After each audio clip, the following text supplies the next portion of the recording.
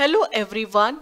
We already know about Pascal's law, but you should also know that application of this simple law is enormous.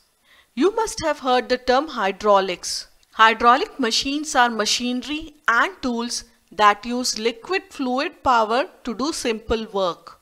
According to Pascal's law, the pressure applied to an enclosed incompressible fluid is transmitted unchanged to every part of the fluid. Here, there is a model of simple hydraulics that uses the principle. It is a U-shaped tube which has two arms and they are closed by two leak-proof pistons. Now here, the two arms have different cross section. One arm has much larger cross section than the other. So here, we say A2 is greater than A1 where A2 and A1 are the cross sections of the two arms of the U-shaped tube. Now, when we apply force which is equal to F1 to left piston, then it will create pressure which is equal to F1 divided by A1. As we know, pressure is equal to force by area. Now, the cross section of A1 is small. So, we can generate greater amount of pressure easily by applying a moderate amount of force.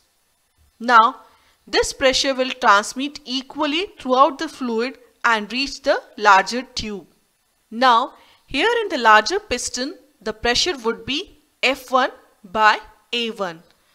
So, the total force working on the larger piston would be F2 and force as we know is pressure multiplied by total area. Here pressure is equal to F1 divided by A1 and area is equal to A2. So what is F2? F2 is equal to force divided by area. So this becomes equal to F1 divided by A1 multiplied by A2.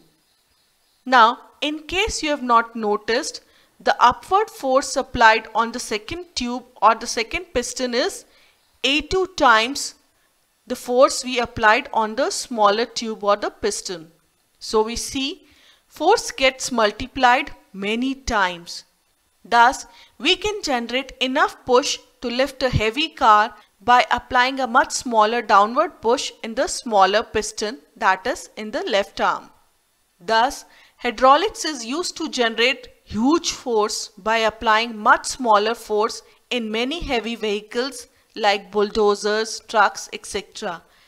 Hydraulic brake is used in heavy vehicles. Hydraulic lifts is used to lift heavy objects. So we see a simple rule can have such huge applications in real life. That's all for now. Bye-bye.